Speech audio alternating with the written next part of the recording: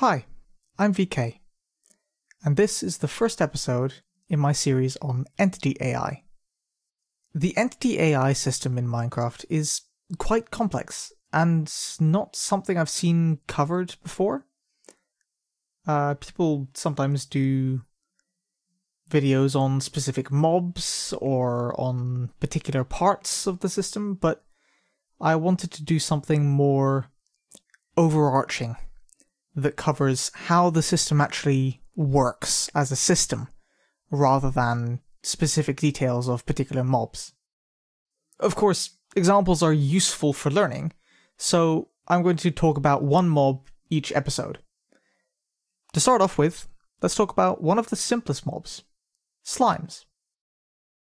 You probably already know that slimes have quite a simple AI. You can tell just by looking at them roughly what they're doing.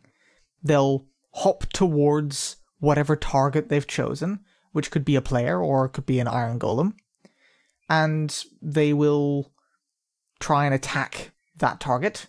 They'll also swim in water, and if they don't have a particular target, they'll just kind of randomly hop around Something you may or may not know about slimes is that they don't actually actively attack anything. You're simply damaged when they touch you, which is part of the reason that slimes can attack so fast, and large slimes in particular can deal so much damage in a short space of time. So, taking that into consideration, what do they actively do?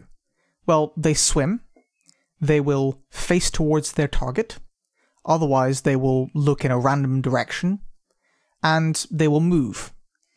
They'll also track players and iron golems as possible targets.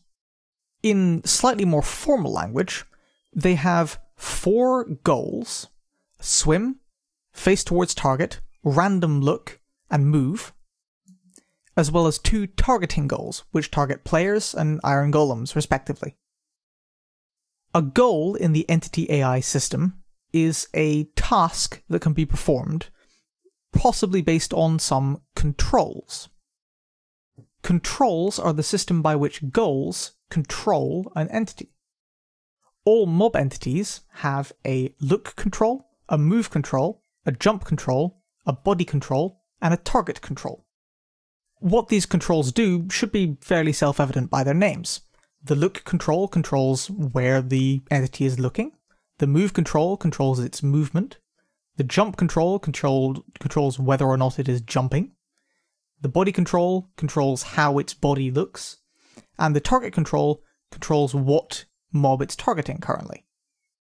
Each control can have at most one goal making use of it at a time. This means that if two goals could both be started, and both would make use of the same control, only one of them can run. To determine which goal runs in a situation like this, there is a numeric priority. The goal with the lowest numeric priority will be the one to run. A goal with a low numeric priority can even replace a goal with a higher numeric priority if it's already running, but only if that goal is able to be stopped at the current moment. This means that in some situations, a goal that should be stopped to run a goal with lower numeric priority may actually prevent itself from being stopped until it's finished performing some important task. So how does this apply to our friends the slimes? Well, here's a list of their goals and the associated priorities. As you can see, the swim goal has the lowest priority, meaning it will run first whenever it's able to start, namely when the slime is in water. However, it's only associated with the jump and move controls, meaning that most other goals will still be able to run despite the swim goal being active. The next goal down is the face toward target goal, which controls the slime's look in order to face it towards its current target. Since this goal only makes use of the look control, it could run at the same time as a goal which makes use of a different control, for example the swim goal. Next is the slime's random look goal. This also makes use of the look control, but it has a higher numeric priority than the face toward target goal, which means it will only run when the slime does not have a target. And finally, we have the move goal. This goal makes use of the jump and move controls, which notably means it cannot run at the same time as the swim goal. There are also the two targeting goals. You'll notice that the player's targeting goal has a lower numeric priority than the Iron Golem targeting goal, meaning that players will be preferred over Iron Golems. Let's go back to the theory for a minute and talk about the goal selector.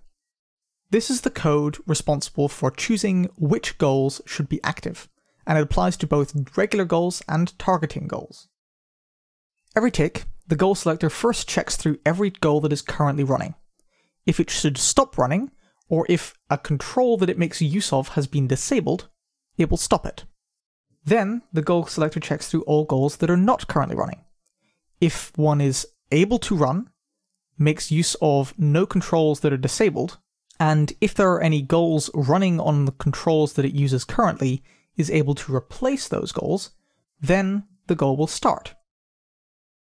And that's basically it. The goal selector is relatively straightforward.